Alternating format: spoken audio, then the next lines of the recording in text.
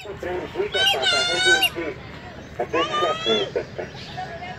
अपेक्षा की तो नियति है भंग होना कैसे क्योंकि अपेक्षा मनुष्य के पूर्ण करने की प्रमाण इच्छा हो तब तो कोई मनुष्य किसी की अपेक्षाओं को पूर्ण नहीं कर पाता और वहाँ से जन्म देता है सारे संबंध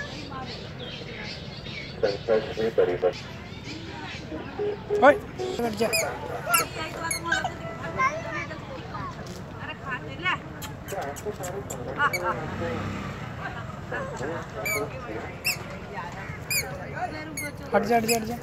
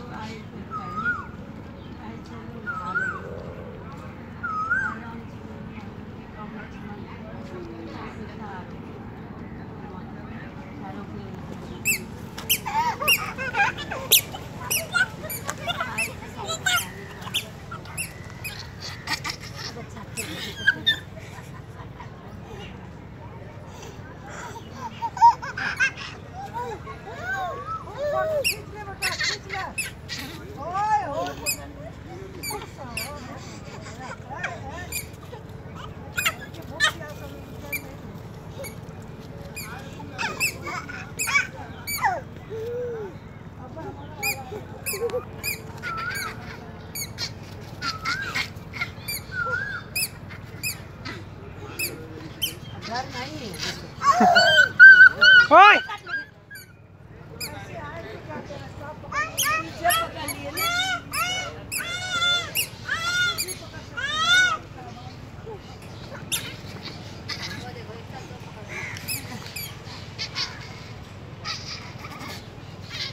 Ôi!